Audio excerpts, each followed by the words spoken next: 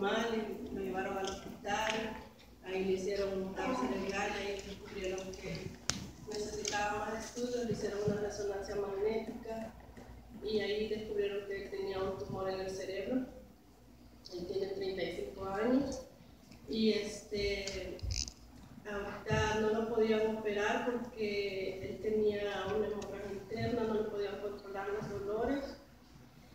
y tampoco bajar la inflamación. Eso no pasara, no bajara la inflamación y controlaran la hemorragia y los dolores, no podían someterle a la operación.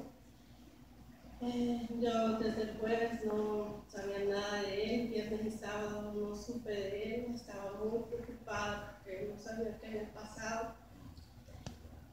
Y ahorita antes de salir para acá al culto, él me llamó que se puso mal, tuvo una gran hemorragia y le tuvieron que someter a Intentaron este, hacerlo por la nariz porque le iban a abrir acá la, la nariz para poder hacer la, la, operación. No se pudo, tuvieron que abrirle la parte de la cabeza acá y hasta acá.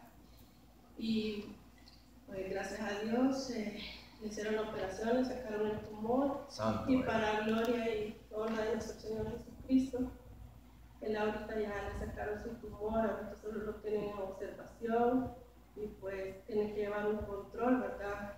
Mensualmente, inyectarse, pero para gloria y honra de nuestro Señor Jesucristo ya, ya no tiene tumor en el cerebro. Aleluya.